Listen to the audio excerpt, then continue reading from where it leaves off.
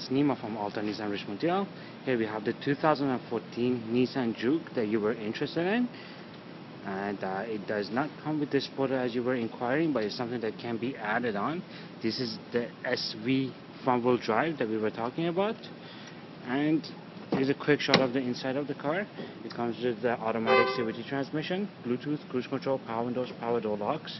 And uh, I will send you a quick email to follow up. If you have any questions or concerns, you can always reach me directly on my cell phone. It's 647-968-1703. Thank you and have a great day.